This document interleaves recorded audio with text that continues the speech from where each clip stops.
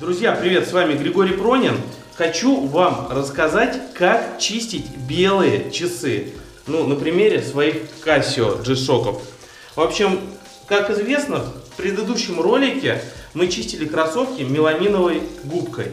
Они были белого цвета, и подошва у них была из резины или каучука. Соответственно, чем мы будем чистить часы белые, у которых э, корпус из резины или каучука? Наверное, той же самой меламиновой губкой. И, естественно, как настоящий еврей, я буду э, чистить э, часы остатками губки от кроссовок. Хотя у меня есть еще одна чистая губка, но я поберегу ее для следующих своих экспериментов.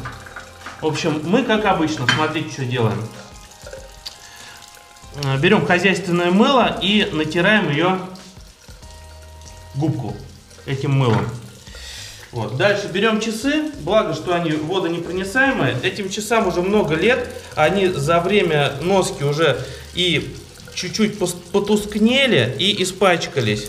Я за ними особо не, не слежу, я их надеваю, когда нужно заниматься какой-нибудь грязной работой, либо в спортзал пойти, хотя в последнее время в спортзале я их даже тоже снимаю. Но такие и в первый мир. Сейчас, например, я хочу надеть свои беленькие кроссовочки и дополнить ансамбль этими часами.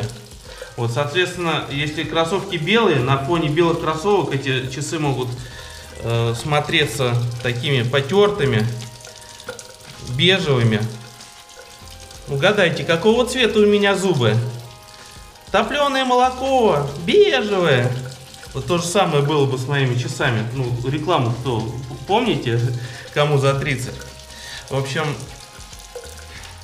вот так вот мы обрабатываем часы, натираем меламиновой губкой. Блин, я чувствую, мне потом придется еще всю одежду стирать после этого, потому что брызги летят. Но ничего, мне для своих подписчиков ничего не жалко.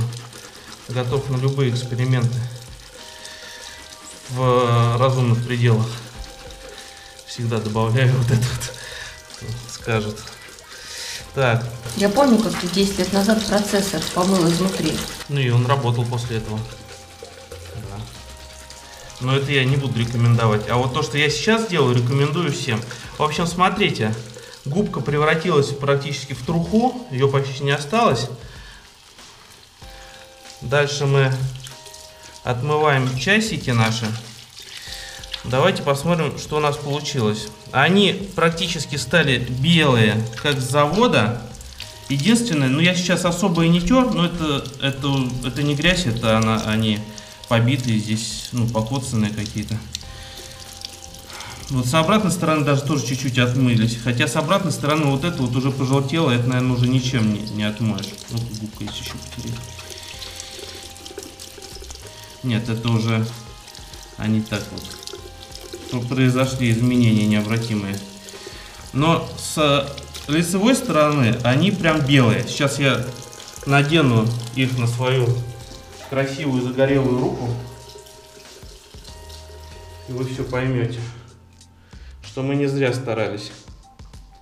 Ну вот. Вот такие часики.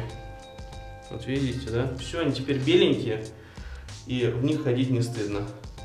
Ну, я надеюсь, что мой опыт был вам полезен. Ставим лайк обязательно этому ролику. И подписываемся на канал, если еще не подписались. У меня на моем канале очень много всего интересного, иногда полезного, но иногда не очень. Э, давайте, ребят. До свидания.